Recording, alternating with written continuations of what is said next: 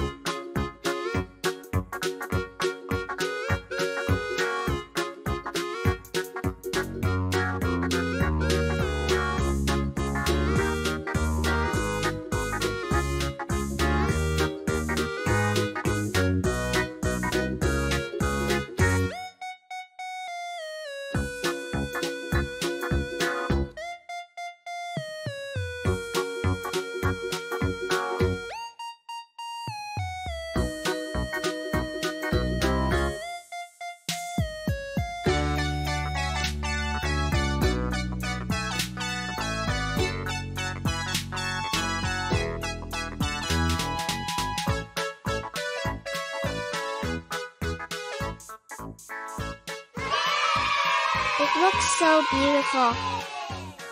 See you next video.